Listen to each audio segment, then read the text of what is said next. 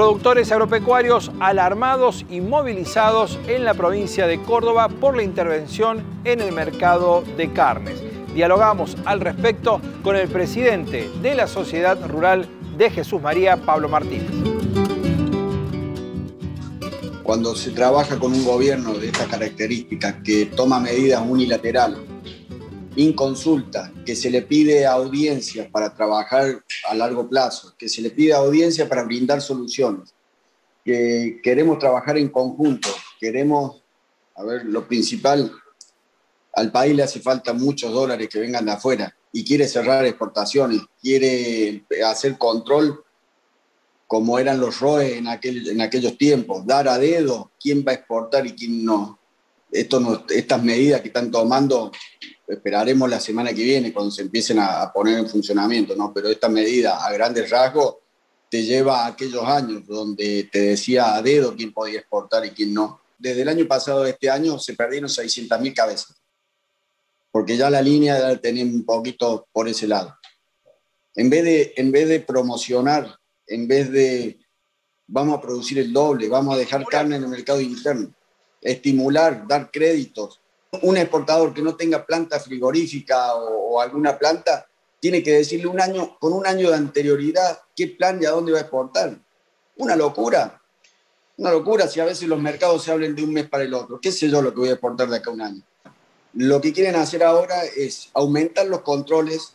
El que no tenga planta exportadora, procesadora, lo que quieren hacer es que, se, que haga un plan de desarrollo, un, a ver, un plan a un año de plazo le quieren hacer hacer. Lo que significa esto que la gente se desanime a, exportar. O te, lo van a, o te van a desanimar con todos estos controles o te van a desanimar cerrándote la exportación el precio puede llegar a bajar de la carne momentáneamente un par de meses, que va a sobrar un poco de stock, pero de acá a tres, cuatro, o, querrán llegar a las elecciones, no sé. Después de las elecciones el precio va a pegar una estampida, porque no va a haber carne, porque se consumió en el sobrestock que va a haber en este momento. Sobra carne en el mercado argentino, sobra carne, ahí está totalmente abastecido el mercado. No, no es que falte carne, sobra el ternero liviano de abajo de 300, 350 kilos, no, 350 kilos, que es el mínimo, ese no va a exportación, va todo a mercado interno. Y de ese ternero hay un montón, hay lo que quieran. Hasta que no, controlemos la, inflación, que bajemos el déficit fiscal, que tengamos por lo menos un empate de números. Eh, es muy difícil, es muy difícil que las cosas no suban.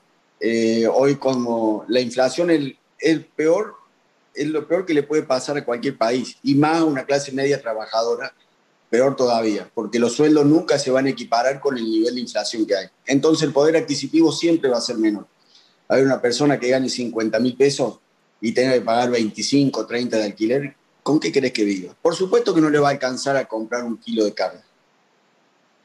Pero no es culpa del productor, es culpa de, de que el gasoil esta semana subió un 6%, si sube el gasoil, sube la logística, sube la distribución, sube todo. El problema es que con la inflación los sueldos nunca alcanzan. Entonces cada vez la gente tiene menos poder adquisitivo. Hasta que los estados no controlen la inflación y no se controla la inflación con cierre de exportación.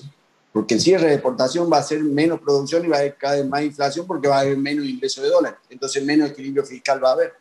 Hasta que no hagamos un convenio económico y social de, de toda la Argentina y, y, con medida a largo plazo, sin intervención en el mercado, con confianza. La, la, la, inflación se para con confianza, no se para con medidas. Vos da confianza, da medida a largo plazo, da ganas de trabajar, no intervencionismo, no intervencionismo.